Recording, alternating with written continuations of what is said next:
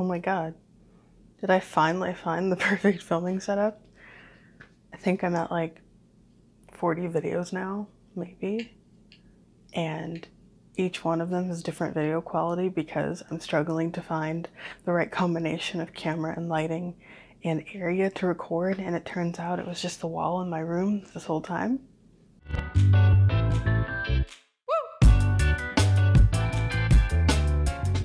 Hello, my name is Denine and welcome back to my channel.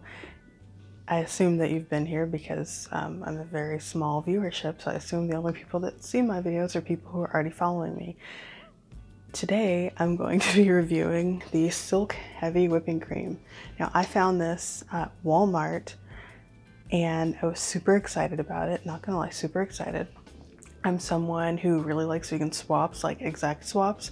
I know not everyone is like that, but for me, being able to buy something like this rather than spending who knows how much on raw cashews just to make sauces that shouldn't be super expensive in the first place, I feel like um, it's not something that I like to do as a vegan. I like to eat cashews. I don't like to, you know, make expensive sauces out of them. So um, when I saw this on the shelf, I was thinking, oh, this would be perfect for sauces and, and you know, whatever you use heavy whipping cream for. And so, and you know, the first thing I thought when I saw it was, oh, wait, it's going to be really starchy, isn't it? Because a lot of these uh, uh, vegan swaps are super starchy and they don't act the way they're supposed to. And then I looked at the ingredients and I was like, okay, nothing in here, you know, nothing in this. Let me see, can I focus? Can I focus? Can you focus? I guess not. So I'll just read some of the ingredients. Actually, I can read all of them because the ingredient list is really short. So, filtered water, coconut oil, sunflower oil, faba bean protein, guar gum, sunflower. Why was that the one that I struggle with? Sunflower less lecithin and natural flavors, and that's it. No sugar, zero gram. Is it gonna show you? Doesn't let you see? Zero grams of sugar, zero grams of carbs. So, okay, because you know, the second thing, the first thing is that these things are usually really starchy and weird. Second thing is these things are usually sugary. They usually have sugar, so you can't use them for savory dishes. Zero grams of sugar. I was so happy. You don't, you don't know how happy I was when I saw these. And I think I had gotten the email about it from Silk like the day before and usually when that happens for me, that means that I'm not going to see it on, in the store for at least a few months. And we went to Walmart and we were passing by. I was gonna go get my soy milk. And then I saw this and I was so excited. I grabbed it and then I put it in the fridge and it stayed there for a very long time and I almost forgot about it. And it's almost expired. So I figured now would be the time to go ahead and do the video while I can still eat it. Um, and I'm so glad. Okay, so I'm sure you can tell by the way I'm gushing that it's a good product and I like it. It's a very good product and I like it. I have used this twice so far. The first time I used it, I made some coffee and I used the heavy whipping cream to make like a, a whipped creamy um, filling, I mean, topping. I was kind of wanting it to, um, to, to act like a cappuccino and so I was hoping it would kind of melt in, um, but it was actually more like a macchiato. It was it was just really good. It was really good, um, like a coffee macchiato because I don't have an espresso machine. But um, it turned out really good. Boyfriend liked it. Um, it whips up really nicely and it gets really thick. That was another thing I was worried about. I was thinking, well, you know, it's gonna whip, but it's gonna take forever to whip up. You know, it's gonna be one of those things where I'm just gonna have to have a, you know, it's standing mixer um, to, to mix. And no, I used my little coffee frother, my little handheld cheap electric coffee frother from Amazon. And it took like a couple of minutes. It was really fast. And it got to the point where the cream was so thick that the coffee frother was struggling to get through the cream. It, it, stopped and I almost thought it died. And then I took it out and got cream everywhere.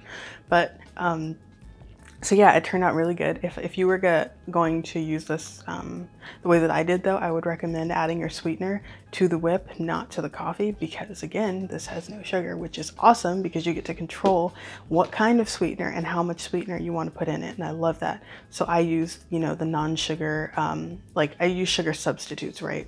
So um, I like being able to add them to my, to my ingredients to my dishes. So I had it with coffee and it was really good, but most things with coffee are good.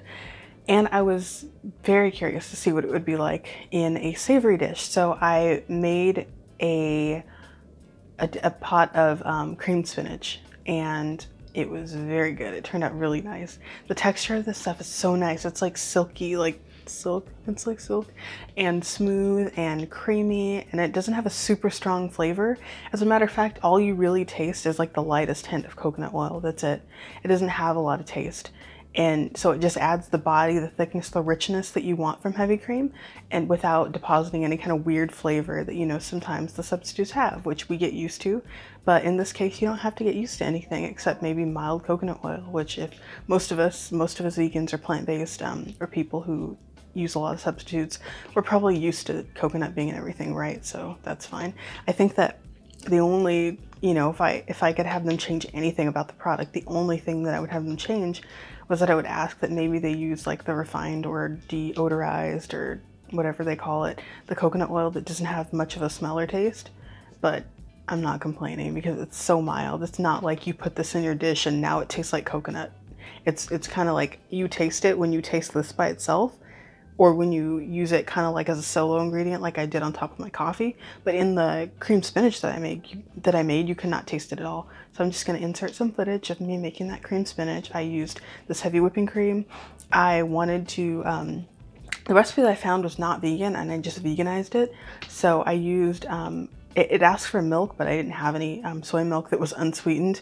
So I used instead the unsweetened Califia Farms um, kefir yogurt or kefir yogurt. And that works very well in cooking as a milk substitute. I'm sure it kills the probiotics, but it, I just needed a white, thick, milky substance.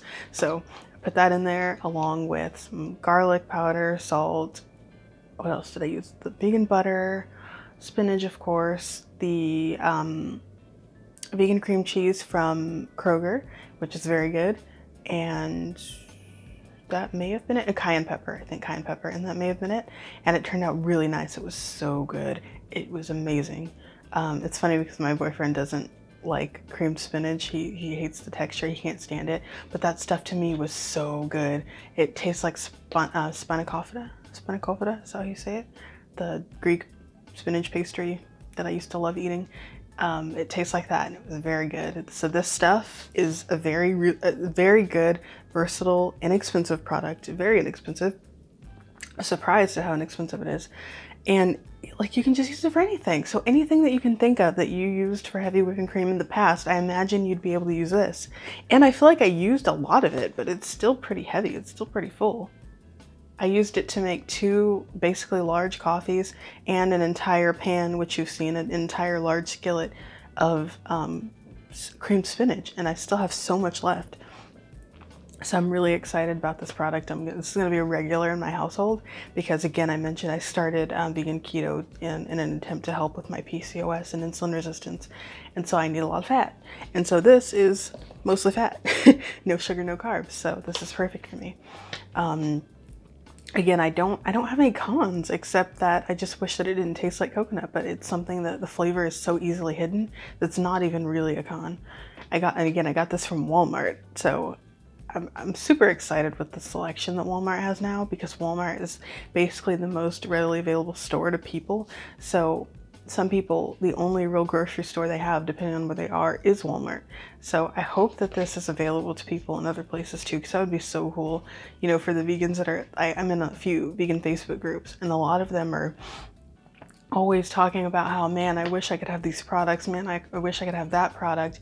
You know this is never in my grocery store. These are the only vegan products that are you know available in my grocery store. Usually the typical follow your heart stuff is really all that they can find and sometimes almond breeze. And so I'm, i hope that they can find this. I think that'd be so cool for people to try it. The next way that i want to try it is as they show it on the package. I just want to whip this up with some berries and i think that'd be really good. Or even peaches no, I can't. I don't even know if I. I think peaches might be too high carb by sugar, but berries. I have a lot of berries. I think that'd be really good to try it, and a great way to use this up. And I'm very excited, as you can tell, very very excited about this. So I'm gonna go because I think at this point I'm rambling. But I hope you enjoyed this video. Hope you found it helpful. I hope you were able to try this product. I hope it's in your stores. Try Walmart before you try anywhere else. It was right next to the regular um, heavy whipping cream under the milk. On a side note, I love that they're doing that for us. I love that they're putting it in places they're realizing that a majority of the people who buy vegan products are actually not vegans. So putting it in the vegan aisle might make the sales actually drop, mean we, meaning we might have less access to the stuff. So I love that they have it out there to be sold and to be, you know, incorporated in, mo in more people's diets. But at the same time, grocery hunt and grocery shopping is starting to feel more like a scavenger hunt again than it used to.